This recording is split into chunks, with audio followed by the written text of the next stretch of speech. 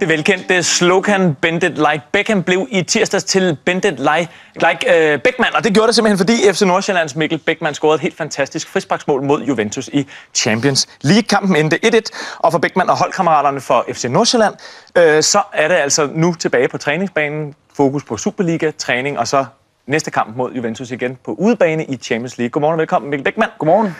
Dejligt, at du er på besøg i dag, Mikkel. Ja. Øh, det har været nogle meget travle dage for dig efter øh, jeres Champions League-kamp ja. øh, mod Juventus, øh, hvor du scorede et fantastisk frisparksmål. Ja. Hvordan er det at være tilbage på træningsbanen nu?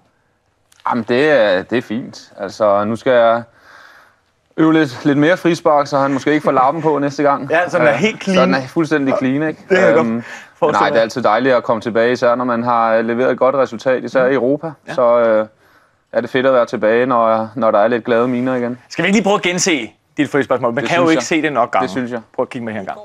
Og her der tog de danske mestre imod... Og man kan jo lige se, ja, Buffon får altså lige hånden på. Ja, det men skidt. det er jo eminent. Hvordan er det at se igen? Det er sjovt. Det er da, øh, det er da lækkert at se, at man øh, kan score i Europa. Øhm, men vigtigst af alt så, at, øh, at klubben kom på sådan verdensbillede, og alle måske holder lidt øje med, med FC Nordsjælland. Det er lækkert. Øh, og så at vi fik et point i den her meget, meget vanskelige pulje, det, øh, det er stort.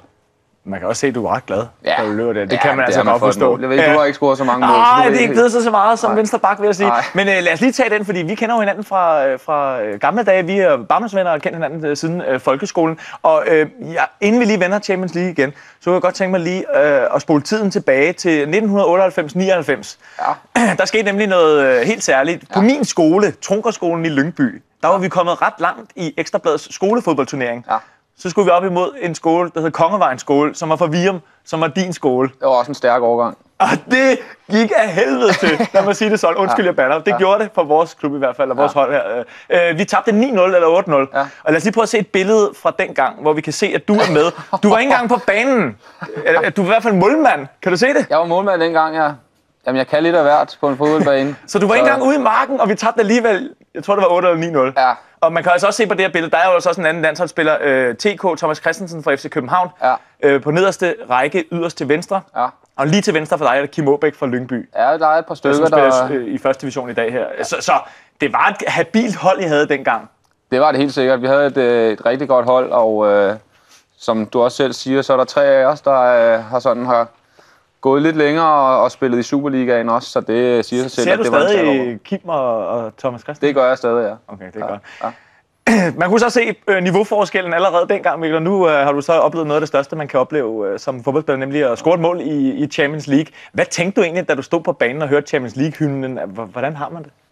Lige præcis med hymnen, der er det lidt specielt. Altså, der, kan, der får der lidt kuldegysninger, men øh, når kampen er i gang, så, øh, så er det stort set en kamp som alle andre, som man bare gerne vil, vil ind og vinde. Um, men lige præcis øh, hymnen, den er helt speciel, synes jeg. Så får man lidt gåsehud måske. Ja, en lille smule. Ja. Øh, Du er Juventus-fan, det kan jeg jo huske også fra, da vi var små, Ja. på øh, b- b- værelset, børneværelset hjemme. Ja. Øh, hvordan var det lige pludselig at stå mod sin gamle øh, favoritklub og skulle øh, spille mod den?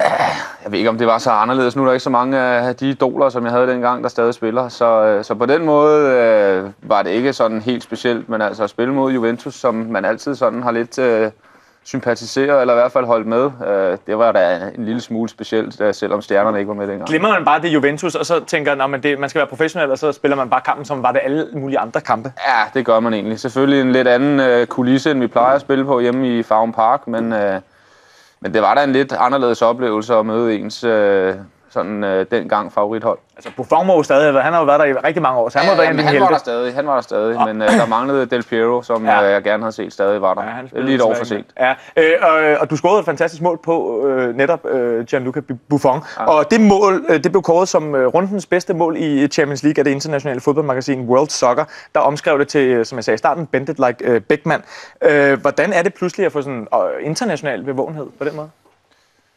Jamen, det er da selvfølgelig også øh, lidt anderledes i forhold til, at øh, det kun plejer at være nationalt, at man, øh, man bliver omtalt. Så det er da meget sjovt, at, øh, at der er en masse andre lande, der også holder øje med en, og, og ens navn og ens klubnavn lige pludselig står i internationale store aviser rundt omkring i Europa. Så øh, det siger sig selv, altså, at Champions League er det største overhovedet i klubfodbold, og det er et kæmpe sådan, øh, medieshow det hele, udover at det selvfølgelig er god fodbold. Så, øh, så det er meget sjovt at se sit navn øh, florere rundt omkring. Har du helt droppet at, at tage et smut til udlandet? Nu er du jo lige så gammel som mig, 29 år. Ja, lakker mod enden. Ja?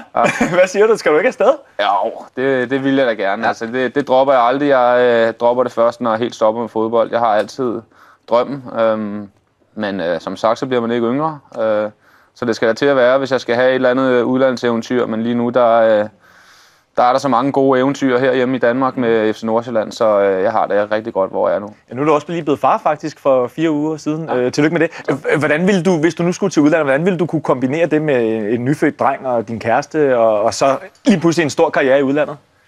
Det tror jeg ikke vil være noget problem. Altså nu øh, har jeg en kæreste, som selvfølgelig er på barsel, og øh, en lille gut, som øh, ikke fatter så meget i øjeblikket, så han vil nok ikke sige noget til at, at tage et smut til udlandet. Um, så det vil ikke gøre noget. Jeg tror, at en, en, et udlandseventyr, det vil være øh, super godt, både for min kæreste og for min lille barn. Ja. Øh, nu har du så muligheden for ligesom at, øh, at få et udstillingsvindue igen den 7. november, hvor I tager til Torino og skal spille returkamp i Champions League mod Juventus. Hvad tror du, det bliver for en kamp dernede?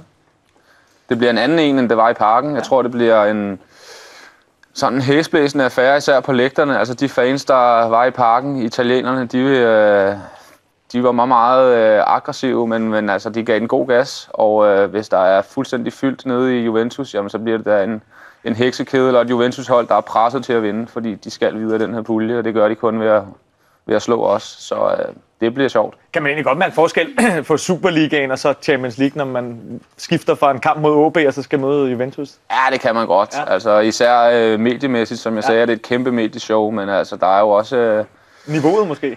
Niveauet er selvfølgelig øh, hævet en tand, og så øh, på lægterne, jamen der er, er lidt flere, end der er herhjemme. Så øh, jo, der er, er stor niveauforskel øh, på stort set alle parametre.